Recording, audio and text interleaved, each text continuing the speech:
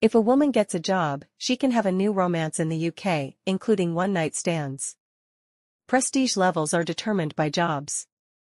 As someone who has always had a good scholastic record, a physics graduate from the University of Manchester, the standard seems discriminatory. The UK Border Agency prioritizes private life for illiterate women from third world countries. I fancy they all get jobs given on a plate, which serve the interests of the employee, but their work is of little use to anyone else. I can bring up examples which are from India, but people from other third world countries would know examples of poor and underprivileged women from their countries.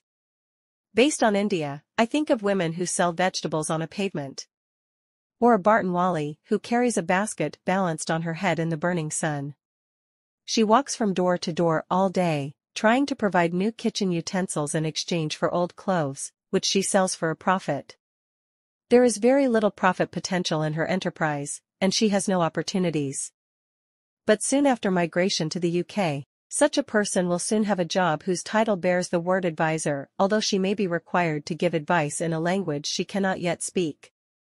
But once she migrates to the UK, the host culture gives everything they possibly can to don an awesome mask, she enjoys some of the privileges of a white, six-foot-tall army general.